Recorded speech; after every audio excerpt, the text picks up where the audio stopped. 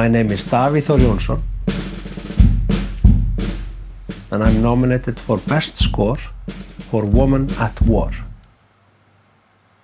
This is the second movie I composed music for, done by Benedikt Erlingsson, the director.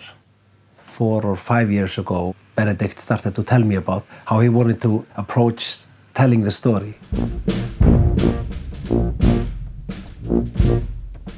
And we would have these small sessions. We would leave town for a few days um, and I would play, we would uh, improvise and analyze the character and, and, the, and the structure and the body of the piece.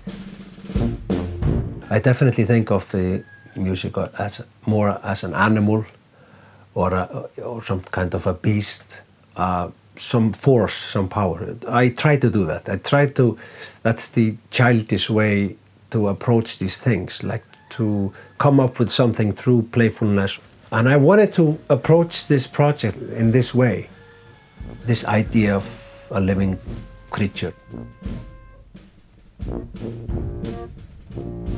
Two or three years later, when we were on the location, I got afraid, like, wow, maybe this is not gonna, this is not gonna fit at all. It needs a load of trust to be able to make this function, because we are on location in the scene, uh, recording the music in the scene while they are acting.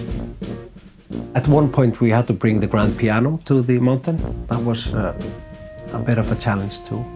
Most of the time you would think it's not going to work.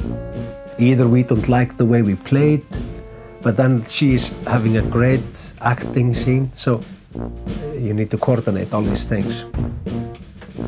It took a while to figure out that small or few just one woman singing in the movie, and just that, or raw as the music could be, meant huge for the movie.